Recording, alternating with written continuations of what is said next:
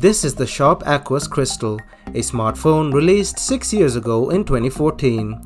The first thing you'd notice when looking at this device is its unusual display, which was its main selling point. However, this phone was a failure and never really took off.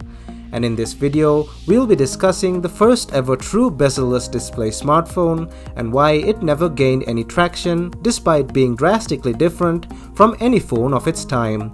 I'll be covering each aspect of this phone and showing you exactly why it failed. But firstly, don't forget to hit that like button and check out my channel and if you like what you see, please consider hitting that subscribe button. Also turn on that bell notification button to get notified whenever I upload a new video. I'm also on Instagram and Discord as well, to which I post teasers and behind the scenes and all the other stuff that I don't post on my YouTube channel too. You can find me on those using the links down in the description below. Alright, let's jump right in. I do have to point out that the unit I have with me is faulty and cannot be accessed beyond the error message as seen here. This is a common issue with this phone and as far as I can tell, it cannot be fixed. Therefore, all what I can say in this video is based on online research. So first, let's talk about a bit of history. The year was 2014, which was a year of drastic change in the smartphone market a time where the iPhone 5s and Samsung Galaxy S5 dominated phone sales. This would also be the last year that LG would enjoy seamless success right before the G4 boot loop of the following year. Amidst all this, Sharp, a company better known for their home appliances, came out to the US market with a phone that was very unusual for its time, the Sharp Aquos Crystal or the Sharp Aquos 306SH. The very unusual looking phone took the market by surprise and was initially well received. Its almost completely bezel-less display and low price of a mere $150 to match seemed too good to be true. Taking a closer look at the phone and we can see why people were so surprised by it. At a time where bezel-less phones were just concepts, Sharp had managed to create a phone that looked something right out of a futuristic movie making it the first true bezel-less smartphone on sale. For its time, the impressive 78% screen-to-body ratio was very eye-catching and set it apart from the competition. However, like I mentioned earlier, the phone was a failure and never saw popularity beyond its initial announcement. So why was it such an abysmal failure and why did Sharp pull out of the US market and never return? Hint, the reasons are quite unsurprising. So now let's discuss specifications starting with the display.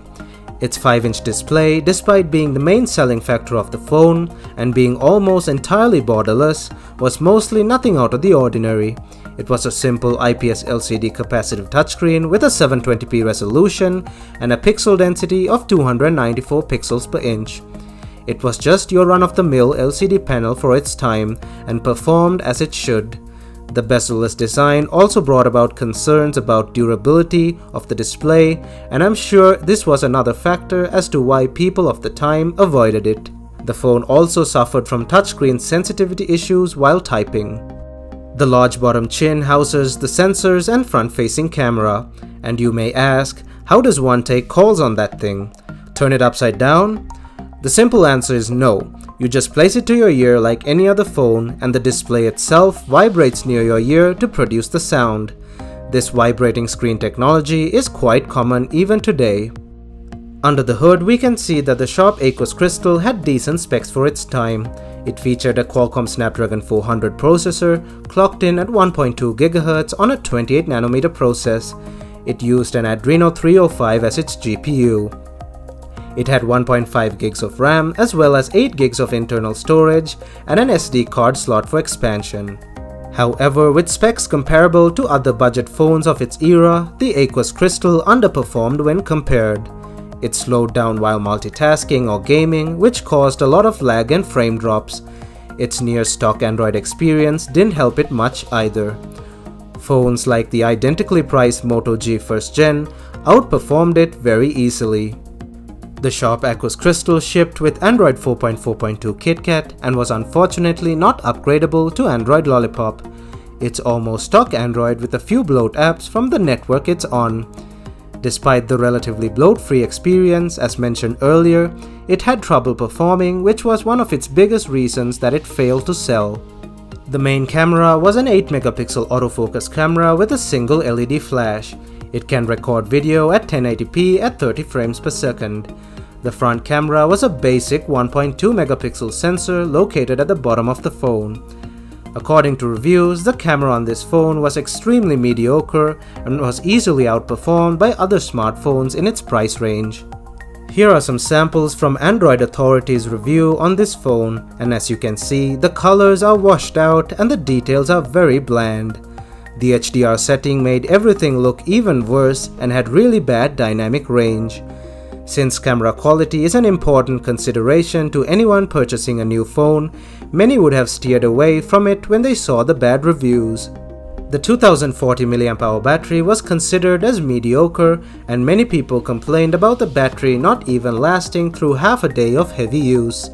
The phone also had Harman Kardon Clari-Fi tuning built into its audio jack and Bluetooth which gave the audio quality a bit of a boost.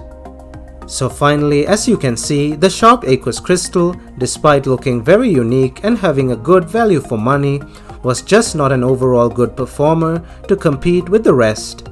Its various issues and mediocre performance, camera and battery life made people opt for phones like the Motorola Moto G and Samsung Galaxy S5 Mini instead.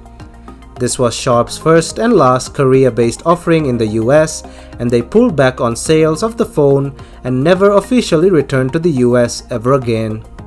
I personally feel like Sharp pulled the plug too early and could have easily stayed a bit longer in the US to prove that they could have done better.